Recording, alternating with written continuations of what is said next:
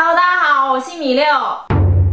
不知道大家穿健身裤或瑜伽裤的时候，会不会很在意内裤的痕迹？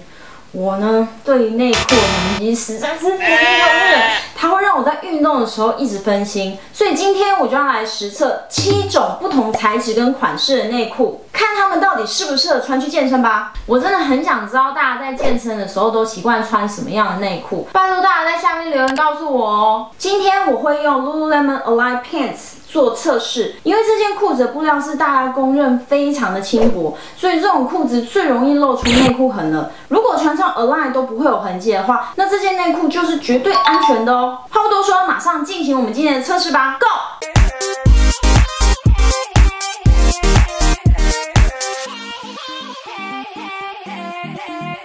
第一种要测试的是棉质三角裤，这种内裤很多人喜欢在平常的时候穿，它应该完全不适合紧身裤吧？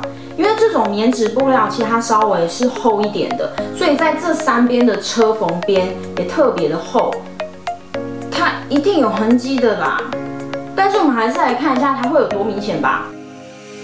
这个内裤前面的那个小蝴蝶结也太凸太明显了吧？感觉好像是我的肚脐凸出来哦。背面这个车缝线真的不行，太厚了，无法忽视的明显。而且我发现松紧带，只要穿松紧带内裤再穿上紧身裤的话，感觉都会把屁股分成好几个区块。所以真的不建议穿这种棉质的三角裤哎。第二种是棉质丁字裤。这种布料还蛮薄的，虽然我觉得丁字裤对于长内裤痕其实还蛮在行的，但是我觉得这个车缝边有一定的厚度在耶。那就我们来看看吧。嗯，这个车线的确还是太凸了，你看在侧边的这个车线都非常的明显，但是布纹倒是印不太出来。我们看一下背面。背面稍微比正面好一点，我觉得，因为丁字裤它主主要因为它布料少，而且它中间那个布料是陷在你你的屁股缝中间，所以我觉得，嗯，还可以。只是上方你看腰带那个地方，它的车线还是蛮凸的。第三种是蕾丝三角裤，不知道有没有人习惯穿蕾丝布料去运动的？因为一般蕾丝布面的会比较怕印出痕迹，可是如果像这种。摸起来比较平的感觉，比较有机会低空飞过。我们马上来看看吧。这个车缝线都看得很明显，而且好像真的稍微看得到蕾丝的花纹哎。侧边的车缝处也超级明显的。不行啊，这样看起来感觉好像好像有橘皮的样子哦。虽然说橘皮也是蛮正常，但是人总是会想要展现最最美好的一面。这个内裤的车缝线蕾丝边真的不行不行。第四件是蕾丝丁字裤，这种一整件都是蕾丝布，很性感的丁字裤，就是你可能去健身的时候，很怕在健身房遇到真爱，然后一切如洪水猛兽一样发生的时候，绝对不失去。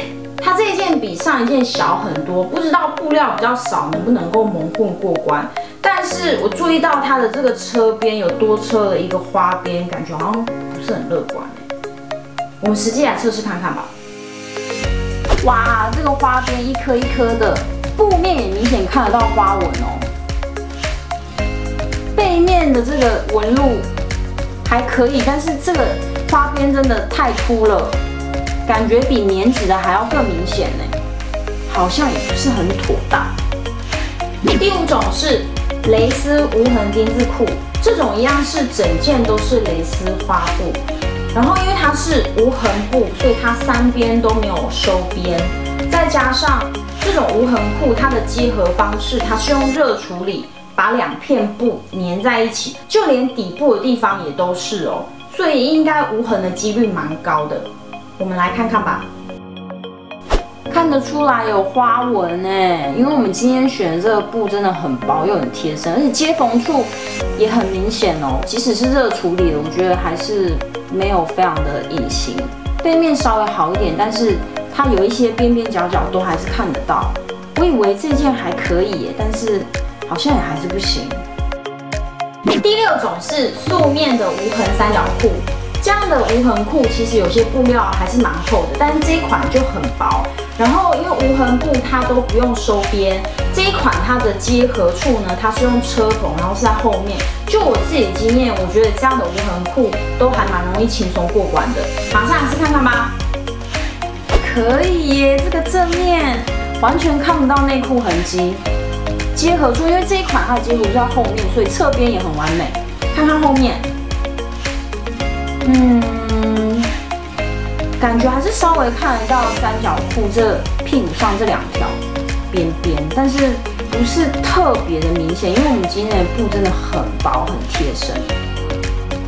今天要实测的最后一种内裤就是素面无痕丁字裤，这款的布料非常薄，非常的柔软，一样都没有收边。然后它的车缝处跟上一件不太一样，它是车在腰的两侧。我们马上就来看看这两条车缝线会不会露馅吧。完全没有车线，侧边也看不出来，背面完全就是一个光滑的屁屁。无痕丁字裤真的太优秀了，一点痕迹都没有哎。所以今天实测结果胜出的就是素面无痕丁字裤。